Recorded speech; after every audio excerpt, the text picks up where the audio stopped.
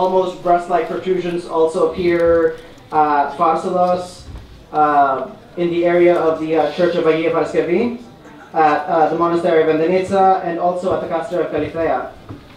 These have been variously interpreted as omphaloi or as Marguerite Hagsma and Sofia Karpanu most recently suggested in 2012, uh, were perhaps spalpana or votive cakes that have been uh, monumentalized in stone.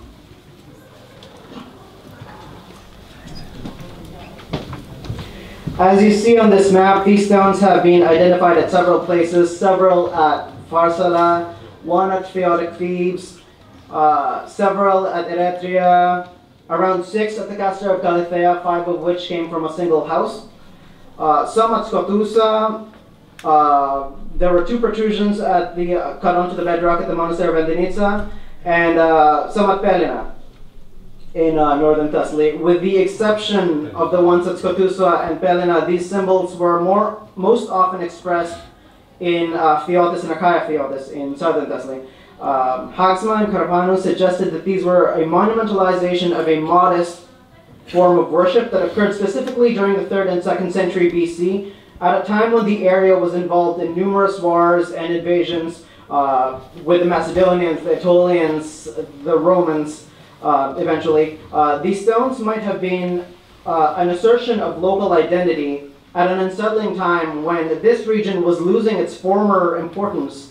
Uh, Ανατολικότερα, ο οποίος οικισμός θεμελιώθηκε σε προγενέστερες ταφές γεωμετρικών και γλυκών χρόνων. Οι σωστικές ανασκαφές που διενεργεί στη στυλίδα η εφορία αρχαιοτήτων Θεότητας και Βρυτανίας, η πρώην Ιώτα Βέτα, από τα τέλη της δεκαετίας του 70 έχουν φέρει στο φως 230 τάφους με χρονικό ορίζοντα από την Μεσολαβική έως την Παλαιοχριστιανική εποχή. 80 από αυτούς ανήκουν στην περίοδο που εξετάζουμε. Οι περισσότεροι έχουν βρεθεί μεμονωμένοι ή σε ομάδες που αριθμούν από 2 4 τάφους και σε ελάχιστες περιπτώσεις έχουν αποκαλυφθεί κατά συστάδες.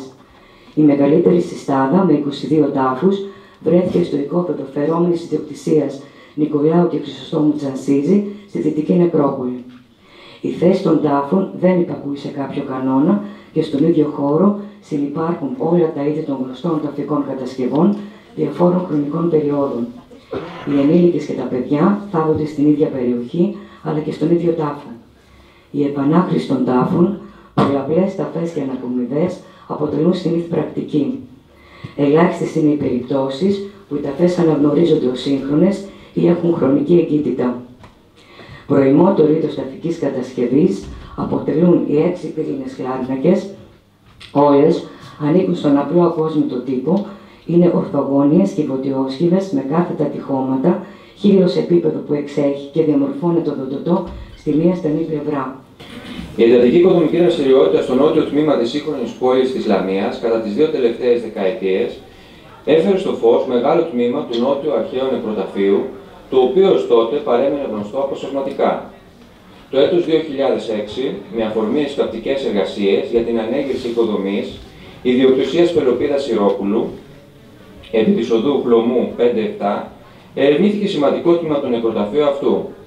Ειδικότερα, σε μια έκταση 1038 τετραγωνικών μέτρων αποκαλύφθηκαν 52 τάφοι στον τύπο του κυβωτιόσχημου, του κεραμοσκεπή και του λαποειδούς.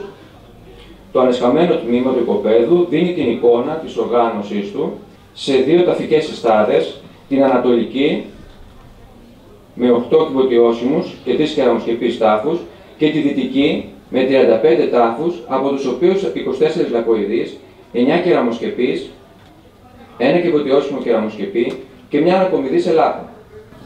Από τις 35 ταφέ της δυτικής συστάδα, μόνο 13 ήταν χτερισμένες με τυπικά ταφικά αγγεία, όπως κυφίδια, δακρυδόχου, κύπελα, κανθάρου και κάναστα. Στα μετάλλινα ευρήματα περιλαμβάνονται χάλκινες και σιδερένιες τελκίδε και χάλκινα ενότια, ενώ δεν απουσιάζουν, τα ειδόλια γυναικείων μορφών και μεταξύ άλλων σε ορισμένες ταφές τα θαλάσσια όστρια. Οι περισσότερες ταφέ έφεραν ένα ή δύο αγγεία, ενώ ιδιαίτερη εντύπωση προκαλεί η έβρεση με λαμβαφούς κήλικα στα πόδια του νεκρού του τάφου 47, που χρονολογείται στα τέλη του 5ου αιώνα π.Χ.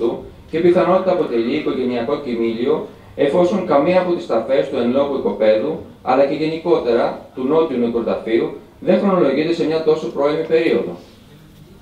Ιδιαίτερο ενδιαφέρον παρουσιάζει ο τάφος 43, ο οποίος εντοπίστηκε εντός λαξεύματος και περιελάμβανε την ταφή τριών ατόμων, ενός άντρα και μιας γυναίκας στην ηλικία των 40 με 45 ετών και ενός νεότερου άντρα περίπου 30 ετών. Οι νεκροί ήταν τοποθετημένοι εκτάδι, ο ένας πάνω στον άλλον, με τα κρανία προς τα δυτικά, πάνω σε ξύλινο φορείο, όπως διαπιστώνεται από την ανέβρεση σιδερένιων ύλων εντός του λαξεύματος. Οσταθικά χτερίσματα είχαν τοποθετηθεί στα πόδια των νεκρών, πύληνα αγκία που χρονολογούνται στα τέλη του 4ου αιώνα με αρχές του 3ου αιώνα π.Χ. και σιδερένιας στλεγγύρα σε πολύ αποσυσματική κατάσταση διατήρησης.